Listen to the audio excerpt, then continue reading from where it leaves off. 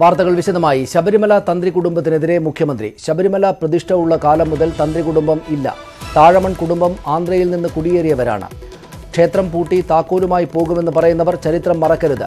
ശബരിമലയിലെ പൂജാരി ബ്രഹ്മചാരിയായിരിക്കണം. ഇവിടുത്തെ തന്ത്രിയുടെ കാര്യം നമുക്കറിയാമല്ലോ എന്നും എറണാകുളത്തെ കാര്യം മറന്നിട്ടില്ല എന്നും മുഖ്യമന്ത്രി പറഞ്ഞു. ശബരിമല വിഷയത്തിൽ പുനഃപരിശോധനാ ഹർജി നൽകാത്തത് വിധിയിൽ അപാകതയില്ലാത്തതിനാലാണെന്നും പത്തനംതിട്ടയിൽ രാഷ്ട്രീയ വിശദീകരണ യോഗത്തിൽ മുഖ്യമന്ത്രി പറഞ്ഞു.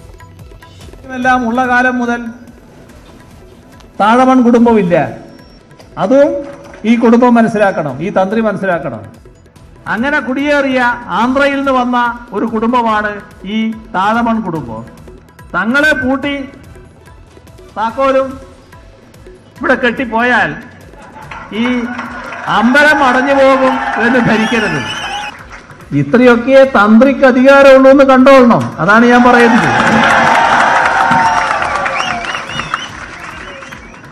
തങ്ങളുടെ കോന്തറയിൽ കെട്ടുന്ന താക്കോലിന്റെ മേലെയാണ് അധികാരം മുഴുവൻ കേന്ദ്രീകരിച്ച് നിൽക്കുന്നത് എന്ന് തെറ്റിദ്ധരിച്ചേക്കരുത്. അതേ ഉള്ളൂ. ഇഷ്ടിക ബ്രഹ്മചാരിയായ ദേവന്മാരുണ്ട്. ദേവന്മാരുള്ള സ്ഥലത്ത് ഈ പൂജാരിയും ബ്രഹ്മചാരിയാവണം.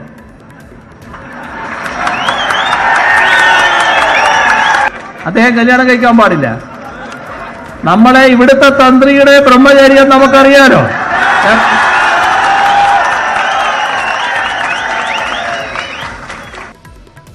അത്തരം തെറ്റായ നടപടി സ്വീകരിച്ച ദേവസ്വം ബോർഡിലെ ഉദ്യോഗസ്ഥർക്കെതിരെ കർക്കശമായ നടപടിയെടുക്കാൻ ദേവസ്വം ബോർഡ് സന്നദ്ധമാവുകയാണ് വേണ്ടത്. ഇത്തരം കോപ്രായങ്ങൾക്കൊന്നും സാധാരണ നിലയിൽ ദേവസ്വം ബോർഡിന് കൂട്ടു നിൽക്കാനാവില്ല അഴിഞ്ഞാട്ടക്കാരായ ചിലരെ ജീവനക്കാരുടെ ഇടയിലുണ്ടെങ്കിൽ അവരെ നിയന്ത്രിക്കുന്നതിനുള്ള നടപടിയും ദേവസ്വം ബോർഡിന്റെ ഭാഗത്തുനിന്നുണ്ടാവണം. ഏതെങ്കിലും ഒരു റിപ്പോർട്ടും കൊണ്ട് ദേവസ്വം ബോർഡ് അങ്ങോട്ട് പോയാൽ എന്താ തിരിച്ചു കിട്ടുക എന്നുള്ളത് നല്ലതുപോലെ ചിന്തിച്ചോളണം. ഇപ്പോൾ വേണ്ടാതെ അടികൊടുത്ത് വടികൊടുത്ത് അടിവാങ്ങുക എന്ന് പറയുന്നില്ലേ? അങ്ങനെ ഒരു നടപടിയിലേക്ക് നീങ്ങിയേക്കരുത് എന്നാണ് കൂടുതൽ വിവരങ്ങളുമായി ശ്യാം ദേവരാജ് പത്തനംതിട്ടയിൽ നിന്ന് ചേരുന്നു. ശ്യാമ മറ്റെന്തൊക്കെ കാര്യങ്ങളാണ് മുഖ്യമന്ത്രി ആ രാഷ്ട്രീയ വിശദീകരണ യോഗത്തിൽ പറഞ്ഞത്? അതിരൂക്ഷമായ വിമർശനമാണ് താഴ്മൺ തന്ത്രി കുടുംബത്തിനെതിരെ മുഖ്യമന്ത്രി പിണറായി വിജയൻ ഉയർത്തിയത്. അതിരൂക്ഷമായ വിമർശനം ഇത് ദിവസം ശബരിമലയിലെ കലാപഭൂ ശബരിമലയെ കലാപഭൂമിയാക്കാനാണ് ആർ എസ് എസ് ശ്രമിച്ചത്. ശബരിമലയെ തകർക്കാൻ സംഘപരിവാറിന് പ്രത്യേക ഉദ്ദേശമുണ്ട്.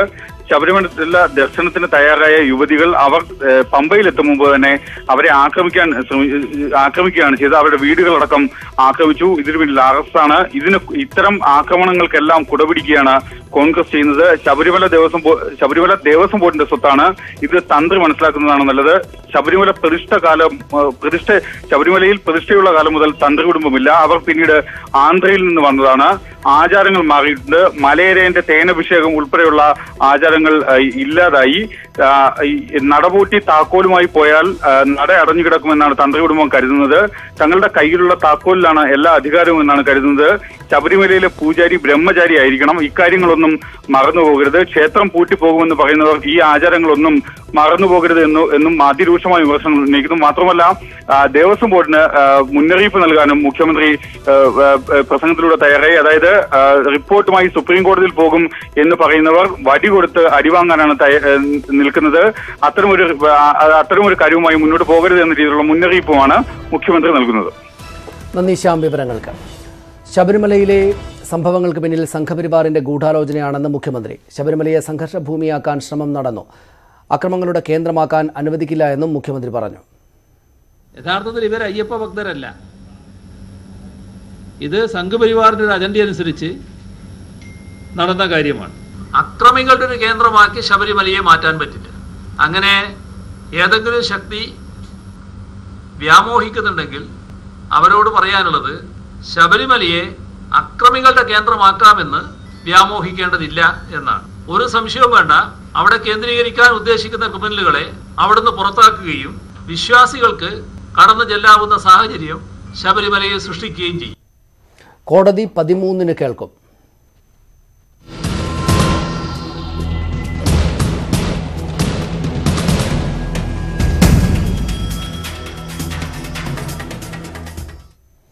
ശബരിമല വിധിക്ക് എതിരായ ഹർജികൾ നവംബർ പതിമൂന്നിന് മൂന്ന് മണിക്ക് സുപ്രീംകോടതി പരിഗണിക്കും. ചീഫ് ജസ്റ്റിസ് രഞ്ജൻ ഗൊഗോയിയാണ് ഇക്കാര്യം അറിയിച്ചത്. എന്നാൽ പുനഃപരിശോധനാ ഹർജികളും റിട്ട് ഹർജികളും ഒരുമിച്ചാണോ തുറന്ന കോടതിയിലാണോ വാദം കേൾക്കുക എന്ന് കോടതി വ്യക്തമാക്കിയിട്ടില്ല. ശബരിമല വിധിക്കെതിരെ നൽകിയ റിട്ട് ഹർജികൾ അഭിഭാഷകൻ മാത്യൂസ് നെടുമ്പാറ ശ്രദ്ധയിൽപ്പെടുത്തിയപ്പോൾ ചീഫ് ജസ്റ്റിസ് രഞ്ജൻ ഗൊഗോയുടെ മറുപടി ഇതായിരുന്നു. നിങ്ങൾ കാത്തിരിക്കൂ. സുപ്രീംകോടതി വെബ്സൈറ്റിൽ ലിസ്റ്റ് പ്രസിദ്ധീകരിക്കും. നവംബർ പതിമൂന്നിന് മൂന്ന് മണിക്ക് ഹർജി പരിഗണിക്കും.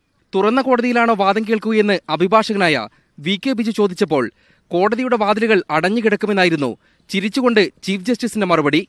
അതേസമയം പുനഃപരിശോധനാ ഹർജികളും റിട്ട് ഹർജികളും തുറന്ന കോടതിയിൽ ഒരുമിച്ച് പരിഗണിക്കുമെന്നാണ് കരുതുന്നതെന്ന് അഡ്വക്കേറ്റ് മാത്യൂസ് നെടുമ്പാറ പറഞ്ഞു. ഓപ്പൺ കോർട്ട് ഹിയറിംഗ് ആയിരിക്കും. അപ്പോൾ എന്റെ പ്രതീക്ഷ ഞാൻ ജസ്റ്റ് ഒരു അനുമാനമാണ് ഒരു ഫൈവ് ജഡ്ജ് ബെഞ്ച് തന്നെയായിരിക്കും കേൾക്കുക. എല്ലാ ഹർജികളും ഒരുമിച്ച് കേൾക്കുന്ന എന്റെ പ്രതീക്ഷ. നിലവിൽ പത്തൊമ്പത് പുനഃപരിശോധനാ ഹർജികളും രണ്ട് റിട്ട് ഹർജികളുമാണ് കോടതിയിൽ ഫയൽ ചെയ്തിട്ടുള്ളത്. കൂടുതൽ ഹർജികൾ വരും ദിവസങ്ങളിൽ ഫയൽ ചെയ്തേക്കും. ശബരിമലയിൽ വിശ്വാസമില്ലാത്ത സ്ത്രീകൾ നൽകിയ ഹർജി പരിഗണിച്ച് യുവതീ പ്രവേശനം അനുവദിച്ചത് വിശ്വാസികളുടെ മൗലികാവകാശ ലംഘനമാണെന്നാണ് റിട്ട് ഹർജികളിലെ പ്രധാന വാദം. ഹർജികൾ പരിഗണിക്കുന്നതിനുള്ള സമയവും തീയതിയും സുപ്രീം കോടതി പ്രഖ്യാപിച്ചതോടെ ശബരിമല വിഷയത്തിൽ വീണ്ടും പരിശോധനകൾക്ക് വഴിയൊരുങ്ങുകയാണ്. സുപ്രീം കോടതിയിൽ നിന്നും ക്യാമറമാൻ ബിനു ബേസിലിനൊപ്പം എം ഉണ്ണികൃഷ്ണൻ ന്യൂസ് എയ്റ്റീൻ. പുതിയ സാഹചര്യത്തിൽ ശബരിമലയിൽ മണ്ഡലകാലത്ത് തിക്കിലും തിരക്കിലും ജീവാപായം വരെ ഉണ്ടായ- ഉണ്ടായേക്കാമെന്ന് സ്പെഷ്യൽ കമ്മീഷണറുടെ റിപ്പോർട്ട്. ശബരിമലയിലെ സാഹചര്യം വിശദീകരിച്ച് Devaswom special commissioner M Manoj ആണ് ഹൈക്കോടതിയിൽ റിപ്പോർട്ട് സമർപ്പിച്ചത്. വിശ്വാസ സംരക്ഷകർ എന്ന പേരിൽ ചിലർ പമ്പ നിലക്കൽ തുടങ്ങിയിടങ്ങളിൽ തമ്പടിച്ചിരുന്നു. ഇവർ മണ്ഡലകാലത്തും എത്താൻ സാധ്യതയുണ്ട്. ശബരിമലയിൽ സ്ഥിതി ഗുരുതരമാണ്. മണ്ഡലകാലത്ത് നട തുറക്കുമ്പോഴും പ്രതിഷേധക്കാരുടെ സാന്നിധ്യമുണ്ടാകാമെന്നും റിപ്പോർട്ടിൽ സൂചനയുണ്ട്. ശബരിമല പ്രശ്നത്തിൽ മുഖ്യമന്ത്രി വർഗീയത ഇളക്കിവിടുകയാണെന്ന് പ്രതിപക്ഷ നേതാവ് രമേശ് ചെന്നിത്തല ആരോപിച്ചു. നിലയ്ക്കലിലെ ആക്രമണത്തിന് പിന്നിൽ ബി ജെ പിയും ഹനുമാൻ സേനയുമാണെന്ന് കോൺഗ്രസ് നേതാവ് കെ സുധാകരൻ പറഞ്ഞു. മുഖ്യമന്ത്രി പ്രശ്നങ്ങൾ കൂടുതൽ വഷളാക്കുകയാണെന്ന് ബി ജെ പി സംസ്ഥാന പ്രസിഡന്റ് പി എസ് ശ്രീധരൻപിള്ള ആരോപിച്ചു. മുഖ്യമന്ത്രി വർഗീയത ഇളക്കിവിടുകയാണെന്നും കോൺഗ്രസ് കോടതി സമീപിക്കുമെന്നും പ്രതിപക്ഷ നേതാവ് രമേശ് ചെന്നിത്തല പറഞ്ഞു. മുഖ്യമന്ത്രി ഇത്ര തരംതാഴാൻ പാടില്ല. ശബരിമലയുടെ അവകാശം വിശ്വാസികൾക്കാണെന്നും സർക്കാർ വിശ്വാസികൾക്കൊപ്പം നിൽക്കണമെന്നും കെ പി സി സി അധ്യക്ഷൻ മുല്ലപ്പള്ളി രാമചന്ദ്രനും പറഞ്ഞു. വർഗീയ വികാരം ഇളക്കിവിടാൻ ശ്രമിക്കുന്ന മുഖ്യമന്ത്രിക്കെതിരായി കോൺഗ്രസ് കോടതിയെ സമീപിക്കാൻ തീരുമാനിച്ചിട്ടുള്ളതുള്ള കാര്യം കൂടി ഞാൻ പറയട്ടെ. വിശ്വാസത്തിന്റെ പേരിൽ നിങ്ങൾ വേഷപക്ഷജരായി കുറെ സ്ത്രീകളെ കൊണ്ടുപോയാൽ അത് ഈ രാജ്യത്തെ വിശ്വാസത്തോട് നിങ്ങൾ കാണിച്ചാൽ അപമതിയാണ് അപമാനമാണ്. ഇത് കേരള സമൂഹം ഒരിക്കലും അംഗീകരിക്കുകയില്ല എന്ന് മാത്രം ഞാനോട് പറയട്ടെ. നിലയ്ക്കലിലെ അക്രമത്തിന് പിന്നിൽ ബി ജെ പിയും ഹനുമാൻ സേനയുമെന്ന് കോൺഗ്രസ് നേതാവ് K Sudhakaran. B J P കഴിഞ്ഞാടാൻ അവസരമുണ്ടാക്കിയത് സർക്കാരാണെന്നും കെ സുധാകരൻ ആരോപിച്ചു. മുഖ്യമന്ത്രി അനാവശ്യ പോരാട്ടത്തിലേക്ക് എടുത്തുചാടുകയാണെന്ന് ബി ജെ പി സംസ്ഥാന പ്രസിഡന്റ് പി എസ് ശ്രീധരൻപിള്ള പറഞ്ഞു. സ്ത്രീകളെ ശബരിമലയിൽ കയറ്റാൻ കഴിയാത്തതിന്റെ ജാള്യതയാണ് മുഖ്യമന്ത്രിക്കെന്നായിരുന്നു കെ സുരേന്ദ്രന്റെ പരിഹാസം. ഒരു മുഖ്യമന്ത്രിയും ഭരണകൂടം അല്ലല്ലോ വേണ്ടത് ധൈര്യമുണ്ടെങ്കിൽ ജുഡീഷ്യൽ അന്വേഷണത്തിൽ വരട്ടെ. അടിവേരുകളെല്ലാം സി പി എമ്മിന്റെയും ആ നേതൃനിരയിലുമാണ് ശബരിമലയിൽ അനിഷ്ട സംഭവങ്ങൾ ഉണ്ടായിട്ടുണ്ടെങ്കിൽ എന്ന് തെളിയും. മുഖ്യമന്ത്രിയുടേത് സ്റ്റാലിന്റെ ഭാഷയാണെന്ന് ബി ജെ പി നേതാവ് എ എൻ രാധാകൃഷ്ണൻ ആരോപിച്ചു. മുഖ്യമന്ത്രിയുടെ വാർത്താ സമ്മേളനം കേരളത്തിലെ ജനങ്ങളെ വെല്ലുവിളിക്കുന്നതാണെന്നും അദ്ദേഹം പറഞ്ഞു. ശബരിമലയിൽ വിധി നടപ്പാക്കാൻ സമ്മതിക്കില്ലെന്ന് പരസ്യമായി പറയാൻ ബി ജെ പിക്കും കോൺഗ്രസിനും കഴിയുമോ എന്നായിരുന്നു സി പി ഐ സംസ്ഥാന സെക്രട്ടറി കാനം രാജേന്ദ്രന്റെ ചോദ്യം.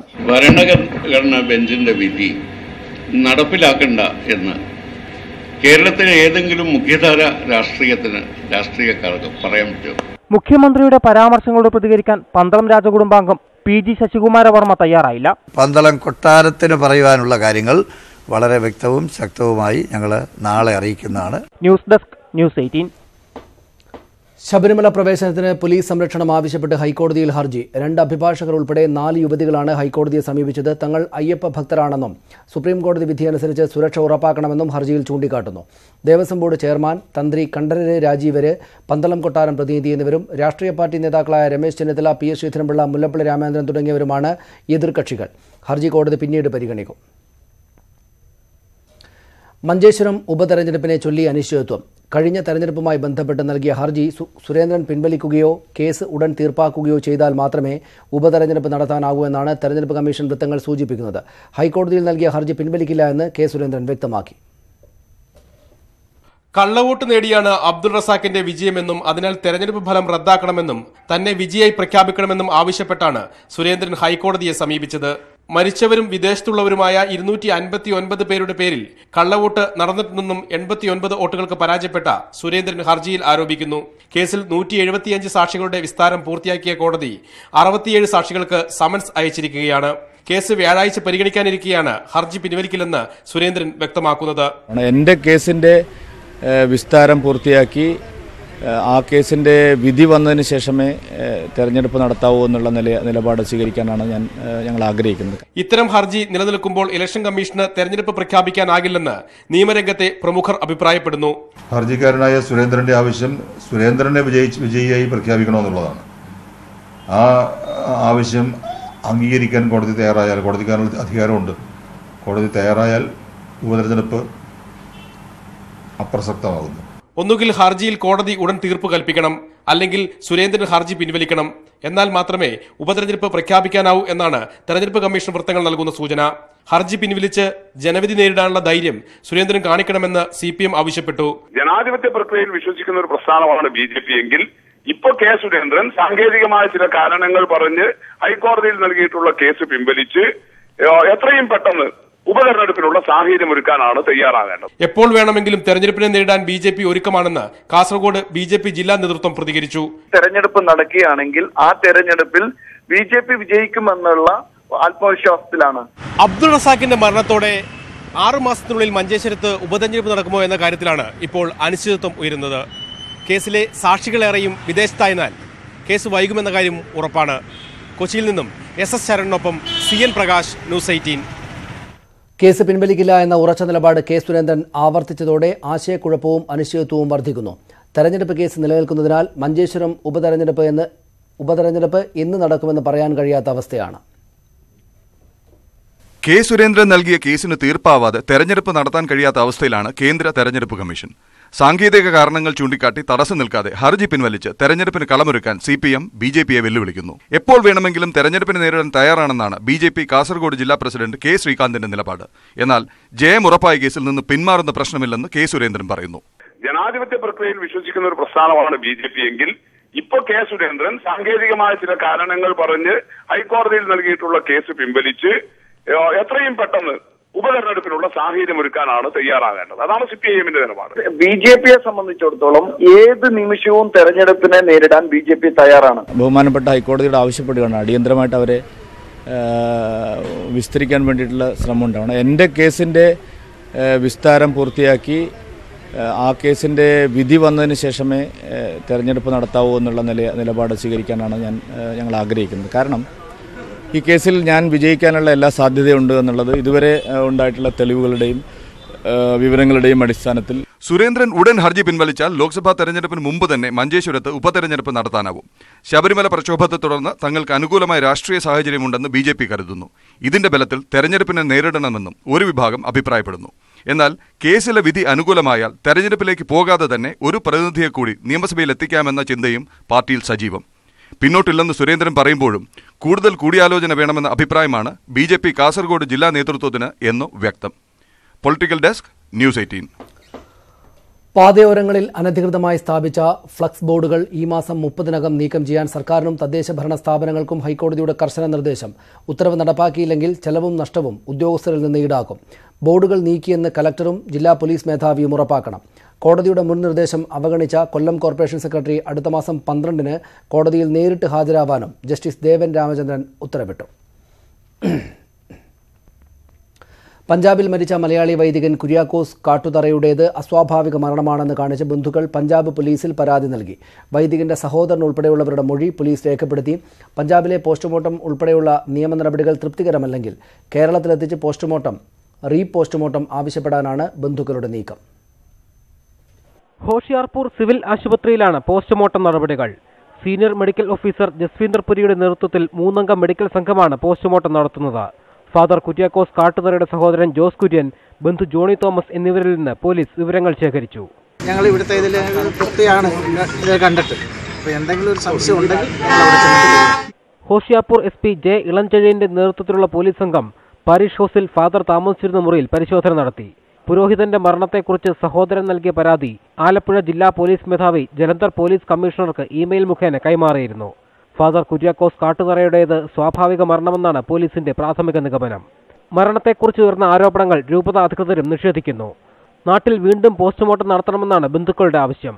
Cherthala Pallippuram saint Mary's forane പള്ളിയിലായിരിക്കും സംസ്കാര ശുശ്രൂഷകൾ നടക്കുക. News desk news eighteen. മാധ്യമപ്രവർത്തകൻ ജമാൽ ഖഷോഗിയുടെ സൗദി കോൺസുലേറ്റിലെ മരണം ആസൂത്രിതമാണെന്ന് തുർക്കി പ്രസിഡന്റ് തയ്യബ് എർദോഗൻ. ഖഷോഗിയുടെ മൃതദേഹം എവിടെയെന്നും തുർക്കിഷ് പ്രസിഡന്റ് ചോദിച്ചു. തുർക്കിയിലെ സൗദി കോൺസുലേറ്റിൽ പ്രവേശിച്ച ശേഷം ഖഷോഗിയെ കാണാതാവുകയായിരുന്നു. സൗദി അറേബ്യ ആസൂത്രണം ചെയ്ത പ്രകാരമാണ് ജമാൽ ഖഷോഗി കോൺസുലേറ്റിൽ കൊല്ലപ്പെട്ടതെന്നാണ് തുർക്കി പ്രസിഡന്റ് തയ്യിബ് എർദോഗന്റെ ആരോപണം. ഖഷോഗിയുടെ കൊലപാതകവുമായി ബന്ധപ്പെട്ട ശക്തമായ തെളിവുകൾ കയ്യിലുണ്ടെന്നും തുർക്കിഷ് പ്രസിഡന്റ് പറഞ്ഞു. കോൺസുലേറ്റിൽ പ്രവേശിച്ച ശേഷം ഖഷോഗിയെ കാണാതായി. ജമാൽ ഖഷോഗിയുടെ മൃതദേഹം എവിടെയാണെന്ന് സൗദി വ്യക്തമാക്കണമെന്നും തയ്യിബ് എർദോഗൻ ആവശ്യപ്പെട്ടു. ഒക്ടോബർ രണ്ടിന് തുർക്കിയിലെ സൗദി കോൺസുലേറ്റിലെത്തിയ ശേഷമായിരുന്നു ജമാൽ ഖഷോഗിയെ കാണാതാകുന്നതും പിന്നീട് കൊല്ലപ്പെട്ടെന്നുമുള്ള വാർത്തകൾ പുറത്തുവന്നതും ഖഷോഗിയെ കാണാതായി ദിവസങ്ങൾ കഴിഞ്ഞാണ് അദ്ദേഹം കൊല്ലപ്പെട്ടതായി സൗദി സമ്മതിച്ചത്. സൗദിയുടെ നടപടിക്കെതിരെ അമേരിക്കയും ബ്രിട്ടനും ഫ്രാൻസും അടക്കമുള്ള രാജ്യങ്ങൾ രംഗത്തു വന്നു. ഇന്റർനാഷണൽ ഡെസ്ക് ന്യൂസ് എയ്റ്റീൻ വാർത്തകൾ തുടരുന്നു. താരസംഘടന അമ്മയിൽ നിന്നും പുറത്താക്കിയതല്ല എന്നും രാജിവെച്ചതാണെന്നും ദിലീപ്. സംഘടന ശക്തമായി നിലനിൽക്കാനാണ് രാജിവെക്കുന്നത്. പുറത്താക്കാൻ ജനറൽ ബോഡിക്ക് മാത്രമേ അധികാരമുള്ളൂവെന്നും ഫേസ്ബുക്കിൽ പ്രസിദ്ധീകരിച്ച കുറിപ്പിൽ പറയുന്നു. ഒക്ടോബർ പത്തിന് താരസംഘടന അമ്മയുടെ ജനറൽ സെക്രട്ടറിക്ക് നൽകിയ രാജിക്കത്താണ് ഇന്ന് ദിലീപ് ഫേസ്ബുക്കിലൂടെ പുറത്തുവിട്ടത്. അമ്മ എന്ന സംഘടനയിൽ നിന്നുള്ള രാജി അംഗങ്ങൾക്കും പൊതുജനങ്ങൾക്കും പ്രിയപ്പെട്ടവർക്കുമായി പങ്കുവയ്ക്കുന്നുവെന്ന കുറിപ്പോടെയാണ് പ്രസിദ്ധീകരിച്ചിരിക്കുന്നത്. ബൈലോ പ്രകാരം പുറത്തിറക്കാൻ ജനറൽ ബോഡിയിൽ ഭൂരിപക്ഷമുണ്ടെങ്കിലേ കഴിയൂ. അമ്മ എന്ന സംഘടന തകർക്കപ്പെടാതിരിക്കാൻ വേണ്ടിയാണ് രാജി. പ്രസിഡന്റ് മോഹൻലാലുമായി വിശദമായ ചർച്ചകൾക്ക് ശേഷമാണ് കത്ത് നൽകിയതെന്നും ദിലീപ് പറയുന്നു. രാജിക്കത്ത് സ്വീകരിച്ചാൽ അത് രാജിയാണ്. പുറത്താക്കലല്ലെന്നും കത്തിനൊപ്പമുള്ള കുറിപ്പിൽ ദിലീപ് പറയുന്നുണ്ട്. അമ്മ ആവശ്യപ്പെട്ട് രാജി ചോദിച്ചു വാങ്ങിയെന്നാണ് കഴിഞ്ഞ ദിവസം പ്രസിഡന്റ് മോഹൻലാൽ പറഞ്ഞത്. ഞാൻ ദിലീപിനെ വിളിക്കുകയും അമ്മയുടെ ഭാഗത്തുനിന്ന് അദ്ദേഹത്തോട് ആവശ്യപ്പെടുകയും ചെയ്തു. അദ്ദേഹത്തിന്റെ രാജി. അദ്ദേഹം രാജിവെച്ച കത്ത് ഞങ്ങളുടെ കയ്യിലുണ്ട്. അങ്ങനെ അദ്ദേഹത്തെ അമ്മയിൽ നിന്ന് ഇപ്പോൾ പുറത്താണ്. അമ്മയിൽ നിന്ന് ദിലീപിനെ പുറത്താക്കിയതിനെ സ്വാഗതം ചെയ്ത വനിതാ കൂട്ടായ്മയായ ഡബ്ല്യു സി സിയും രംഗത്തെത്തിയിരുന്നു. ഈ സാഹചര്യത്തിൽ കൂടിയാണ് രാജിവെച്ചതാണെന്ന് അവകാശപ്പെട്ട് ദിലീപ് കത്ത് പുറത്തുവിട്ടത്. News eighteen Kochi. സിനിമാ മേഖലയിലെ മറ്റ് സംഘടനകളിലും പരാതി പരിഹാര സമിതികൾ രൂപീകരിക്കണമെന്നാവശ്യപ്പെട്ട് ഡബ്ല്യു സി സി സമർപ്പിച്ച ഹർജിയിൽ സംഘടനകൾക്കും സർക്കാരിനും സെൻസർ ബോർഡിനും ഹൈക്കോടതിയുടെ notice. FEFKA MACTA film chamber film producers association എന്നീ സംഘടനകൾക്കാണ് പ്രത്യേക ദൂതൻ വഴി കോടതി നോട്ടീസ് അയച്ചത്. ലൈംഗിക അതിക്രമം സംബന്ധിച്ച പരാതികൾ പരിഹരിക്കാൻ സിനിമാ മേഖലയിലെ എല്ലാ സംഘടനകളിലും ആഭ്യന്തര സമിതികൾ വേണമെന്നാണ് ഡബ്ല്യു സി സിയുടെ ആവശ്യം. ഹർജി കോടതി രണ്ടാഴ്ച കഴിഞ്ഞ് പരിഗണിക്കും. അമ്മ സംഘടനയിൽ സമിതി വേണമെന്ന ഹർജി കോടതി നാളെ പരിഗണിക്കും. ഇതിനിടെ രാഷ്ട്രീയ പാർട്ടികളിലും മറ്റ് സംഘടനകളിലും പരാതി പരിഹാര സെല്ലുകൾ രൂപീകരിക്കണമെന്നാവശ്യപ്പെട്ടുള്ള മറ്റൊരു ഹർജിയും ഹൈക്കോടതിയിലെത്തിയിട്ടുണ്ട്. ഒരു ഇടവേളയ്ക്ക് ശേഷം പാർട്ടി വേദികളിൽ സജീവമായി P K Sasi M L A. Cherpulassery area committee യോഗത്തിൽ ഇന്ന് പി കെ ശശി പങ്കെടുത്തു. ലൈംഗിക പീഡന പരാതിയിൽ ആരോപണ വിധേയനായ പി കെ ശശി കുറച്ചുകാലം പാർട്ടി യോഗങ്ങളിൽ നിന്ന് വിട്ടുനിന്നിരുന്നു. ആരോപണ വിധേയനായ ശേഷം ചെർപ്പളശ്ശേരി ഏരിയ കമ്മിറ്റിയിൽ ശശി പങ്കെടുക്കുന്ന രണ്ടാമത്തെ യോഗമാണിത്. ആദ്യ യോഗത്തിൽ നിന്നും ഭൂരിഭാഗം ഏരിയ കമ്മിറ്റി അംഗങ്ങളും വിട്ടുനിന്നിരുന്നു. എന്നാൽ ഇന്ന് ചേർന്ന യോഗത്തിൽ ഒരാൾ ഒഴികെ ബാക്കി എല്ലാ അംഗങ്ങളും പങ്കെടുത്തു. അടുത്ത മാസം ഷൊർണൂർ മണ്ഡലത്തിൽ ശശി നയിക്കുന്ന കാൽനട പ്രചരണ ജാഥയുടെ മുന്നൊരുക്കങ്ങൾ ചർച്ച ചെയ്യാനായിരുന്നു ഏരിയ കമ്മിറ്റി ചേർന്നത്. തൊഴിലിടങ്ങളിൽ സ്ത്രീകൾക്ക് ഇനി ഇരിപ്പിടം അവകാശം. ഇത് സംബന്ധിച്ച ഓർഡിനൻസിൽ ഗവർണർ ഒപ്പുവെച്ചു. നിയമലംഘനങ്ങൾക്ക് പിഴ അയ്യായിരം രൂപയിൽ നിന്ന് ഒരു ലക്ഷമാക്കാൻ ഓർഡിനൻസിൽ വ്യവസ്ഥ ചെയ്യുന്നു. നിയമ നടപടികൾ ഉടൻ നടപ്പാക്കാൻ തൊഴിലുടമകളോട് അഭ്യർത്ഥിച്ചു. ഇവ പ്രാവർത്തികമാക്കാൻ തൊഴിൽ വകുപ്പ് ഉദ്യോഗസ്ഥർ അടിയന്തര നടപടി സ്വീകരിക്കണമെന്നും നിർദ്ദേശമുണ്ട്. വസ്ത്രശാലകൾ ജ്വല്ലറികൾ തുടങ്ങിയ സ്ഥാപനങ്ങളിൽ ജോലി ചെയ്യുന്ന സ്ത്രീകളുടെ ദീർഘനാളത്തെ ആവശ്യമായിരുന്നു ഇരിക്കാനുള്ള അവകാശം. കൈക്കൂലി കേസിൽ പ്രതിചേർക്കപ്പെട്ട C B I special director Rakesh അസ്താനയ്ക്ക് താൽക്കാലിക ആശ്വാസം. അടുത്ത തിങ്കളാഴ്ച വരെ അസ്താനയെ അറസ്റ്റ് ചെയ്യരുത് എന്ന് ഡൽഹി ഹൈക്കോടതി നിർദ്ദേശിച്ചു. കേസിൽ അറസ്റ്റിലായ ഡി എസ് പി ദേവേന്ദ്രകുമാറിനെ ഏഴ് ദിവസത്തെ സി ബി ഐ കസ്റ്റഡിയിൽ വിട്ടു. സി ബി ഐയെ പ്രധാനമന്ത്രി ശിഥിലമാക്കിയെന്ന് കോൺഗ്രസ് ആരോപിച്ചു. ദീപാവലിക്കും മറ്റ് ആഘോഷങ്ങൾക്കും പടക്കങ്ങൾ പൊട്ടിക്കുന്നതിന് നിയന്ത്രണങ്ങൾ ഏർപ്പെടുത്തി സുപ്രീം കോടതി ദീപാവലിക്ക് രാത്രി എട്ടിനും പത്തിനുമിടയിലും ക്രിസ്തുമസിന് പതിനൊന്ന് അൻപത്തിയഞ്ചിനും പന്ത്രണ്ടരയ്ക്കുമിടയിൽ മാത്രമേ പടക്കം പൊട്ടിക്കാവ്. ഓൺലൈനിലൂടെയുള്ള പടക്ക വിൽപ്പനയ്ക്ക് കോടതി നിരോധനം ഏർപ്പെടുത്തി. പടക്ക നിർമ്മാണത്തിനുള്ള നിയന്ത്രണങ്ങൾ തൃശൂർ പൂരമടക്കമുള്ള വെടിക്കെട്ടുകൾക്കും ബാധകമാകും.